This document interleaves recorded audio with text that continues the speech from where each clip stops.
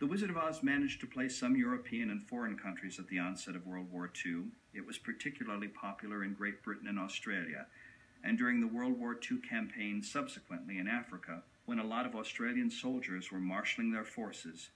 Winston Churchill remembered being told at the time that those soldiers went marching into battle singing, We're off to see the wizard. It was their own rallying war cry, reminding them of home, reminding them of the happiness they'd had just before they went off to war, and the happiness for which they were fighting.